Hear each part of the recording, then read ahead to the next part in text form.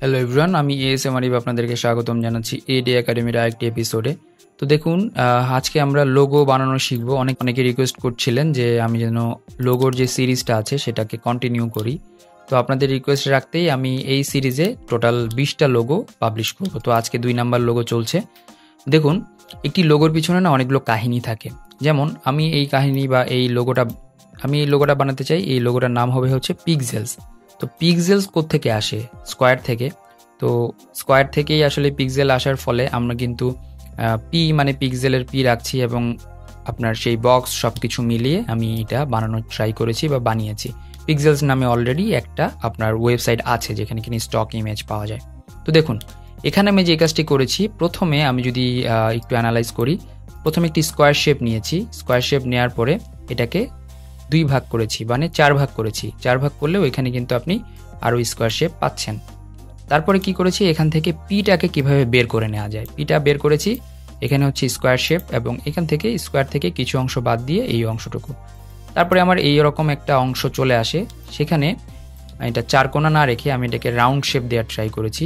সেই ক্ষেত্রে আমি এটাকে এই সাইডটুকু ঠিক করেছি। তারপরে এটাকে আমি যাতে মাঝখানের অংশটুকু ফাঁকা থাকে এই জন্য এটাকে স্ট্রোক করেছি। স্ট্রোক করার পরে এটাকে এই শেপে নিয়েছি। এখন এটার বেস বা এটাকে কোথায় বসাবো, এটা নিয়েও তো কাজ করতে হবে। তো এটা নিয়ে কাজ করতে গিয়ে এখানে আমি এটাকেও পিক্সেলের শেপ দেওয়ার জন্য বিভিন্ন রকম টোন ইউজ করেছি, এভাবে কেটে নিয়েছি। তো প্রতিটা জিনিস আমি আজকে ডিটেলভাবে দেখাবো আপনাদেরকে। চলুন তাহলে আজকে টিউটোরিয়াল শুরু করি। আপনি যদি চ্যানেলে নতুন হন, তাহলে অবশ্যই চ্যানেলটি সাবস্ক্রাইব করে বেল আইকনটি প্রেস করুন। প্রথমে চলে যাচ্ছি ফাইলে সেখান থেকে নিউয়ে চলে যাচ্ছি। নিউয়ে যাওয়ার পর আমি হচ্ছে একটি আর্টবোর্ড নিচ্ছি, উনিশশো বিশ বাই উনিশশো বিশ। আমি নাম দিচ্ছি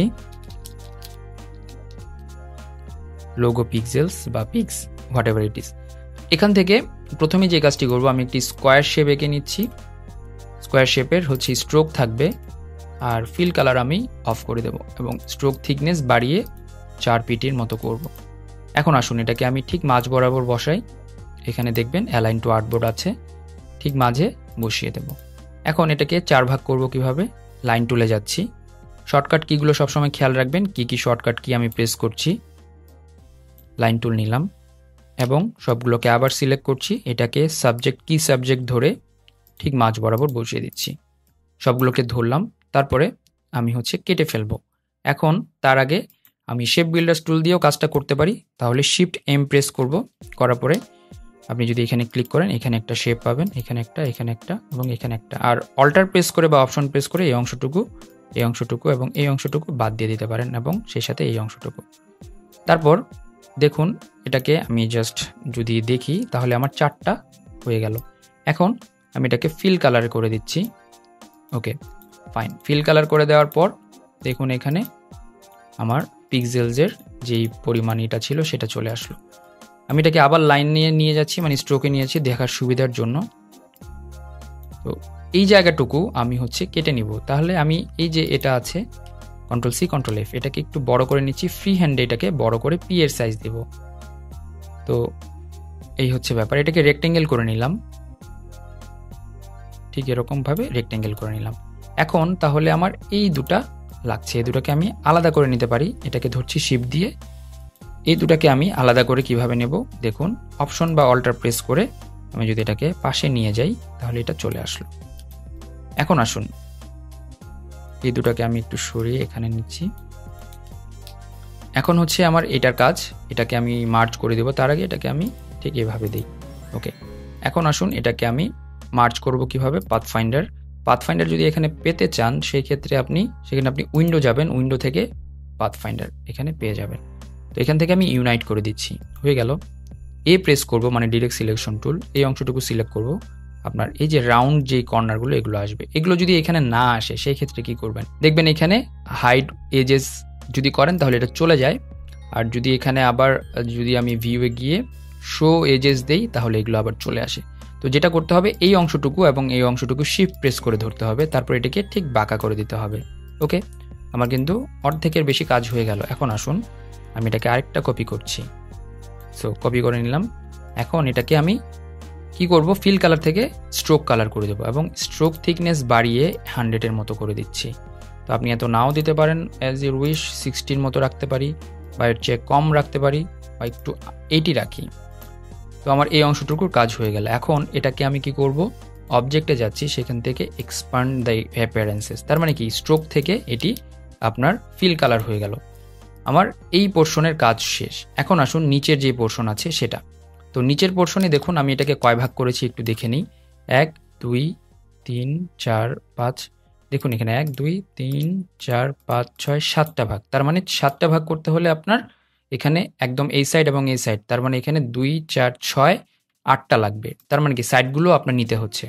তো সেই ক্ষেত্রে আমি কি করব? আবার রেক্ট্যাঙ্গেল টুলে যাচ্ছি, একটি স্কোয়ার শেপ নিয়ে নিচ্ছি।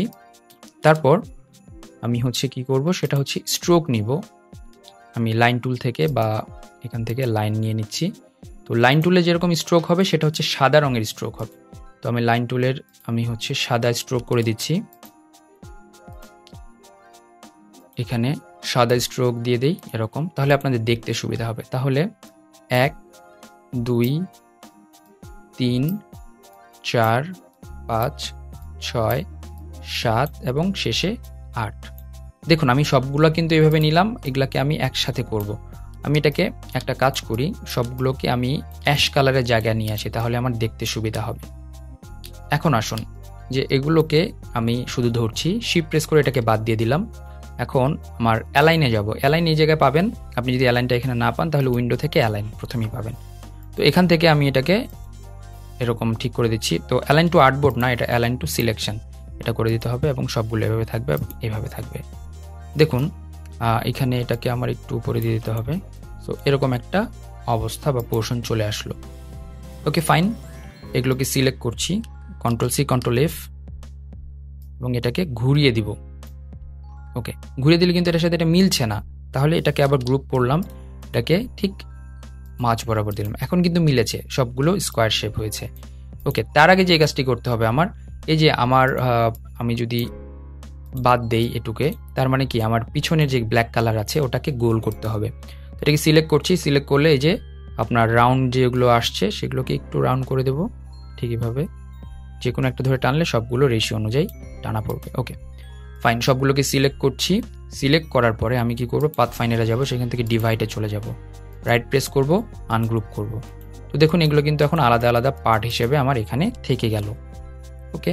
এটাকে আমি নিয়ে আসি। এগুলোকে একটু কাজ করতে হবে, সেটা হচ্ছে আমার একটা একটা করে কালার দিতে হবে।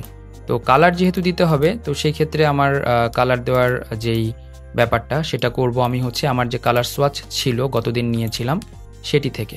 তো এই হচ্ছে আমার সেই কালার সোয়াচ দেখুন, এটিকে আমি পাশের উইন্ডোতে নিয়ে যাচ্ছি।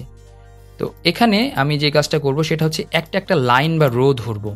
তো এই রোটা যদি ধরি আমি, তো আমি এটাকে আউটলাইন মুড়ে নিই কন্ট্রোল বা কমান্ড ওয়াই আউটলাইন মুড়ে নিয়ে এটাকে একটা গ্রুপ করে ফেলছি কন্ট্রোল জি এবং এটাকে একটা গ্রুপ প্রতিটাকে আলাদা গ্রুপ করে ফেলব মানে কি? আমি এই লাইনগুলো নিয়েই কাজ করব। এখন এই লাইনগুলোতে আমি, যদি আমি এক একটা করে কালার দেই, তাহলে আমার কালারগুলো ঠিক হয়ে যাবে। তো দেখুন আমি কীভাবে করছি কাজটা। ওকে এখন আসি। তো আমার সাতটা কালার আছে। তো এখানে আমি একটা কালার দিচ্ছি আই প্রেস করলাম। এখান থেকে আমি যদি এই কালারটা দিই, তাহলে এই কালারটা ছিল আমার চারশো। আমি এই সাইডে নিই, তাহলে আমার দেখতে সুবিধা হবে। একটু জুম করে নিই। ওকে তারপরে যেটা ছিল, সেটা হচ্ছে, ও এখানে একটা অংশ, এই অংশটাকে একটু বাদ দিয়ে দিতে হবে আপনার। এখানে একটা এক্সট্রা অংশ ছিল, সেই অংশটা আপনার একটু বাদ দিয়ে নিতে হবে, তা না হলে কিন্তু এটা ঝামেলা করবে।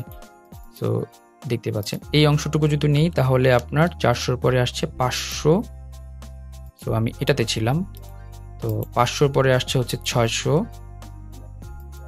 ছয়শো হয়ে গেল। তারপরে যাব সাতশোতে। সাতশো। তারপরে যাব এটাতে। তারপরে চলে যাব আটশোতে। তারপরে যাব নয়শোতে। আর আপনি যদি চান, এখানে আরেকটা কালার দিতে। সো এখানে একটু ডার্ক দিতে পারেন, নয়শো যেটা আছে বা এখান থেকে একটা কালার দিতে পারেন, নয়শো থেকে আমরা একটু ডার্কে নিয়ে নিতে পারি। তো এরকম ডার্ক হতে পারে। তাহলে এটা ডিফারেন্সিয়েট হয়ে গেল। ওকে এখানে আরেকটা অংশ আছে। সেটা হচ্ছে এই যে দেখুন, এই যে আমার সাইডের অংশগুলো, এগুলোকে বাদ দিয়ে দিতে হবে। এই অংশগুলো বাদ দিয়ে দিচ্ছি। এবং এখান থেকেও এই অংশটুকু এই অংশটুকু আমি বাদ দিয়ে দিচ্ছি। Okay, fine. এখন আমার এটা লাগছে না, এটাকে সরিয়ে ফেলব। এখন এটাকে আসুন।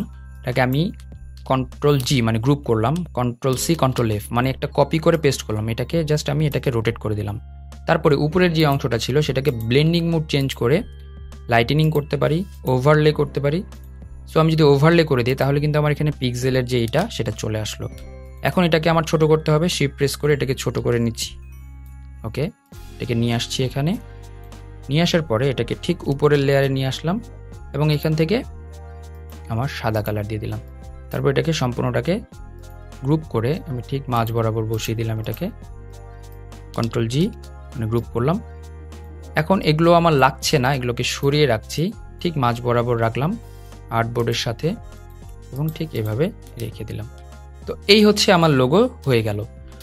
তো এই ছিল আজকে টিউটোরিয়াল আপনি যদি চ্যানেলে নতুন হন, তাহলে অবশ্যই চ্যানেলটি সাবস্ক্রাইব করবেন। আর যদি পুরনো হন, তাহলে আপনাকে অসংখ্য ধন্যবাদ। তাহলে এই ছিল আজকে টিউটোরিয়াল কীভাবে পিক্সেলস টাইপের লোগো বানাবেন। আর এটা আরও বেশি অ্যাকুরেট করা যায়। যত বেশি টাইম দিবেন, তত বেশি অ্যাকুরেট হবে। আমি প্রসেসটা দেখালাম। ভিডিওর খাতিরে আমাকে কিছু জিনিসপত্র একটু তাড়াহুড়ো করে করতে হয়। আদারওয়াইজ অনেক বড় এবং লেন্দি ভিডিও হয়ে যাবে, যেগুলো কিনা আপনারা অনেকে দেখতে চাবেন না। সেফ থাকুন, নিরাপদ থাকুন। Keep me in your prayers as well ভালো থাকবেন সবাই। আল্লাহ হাফেজ।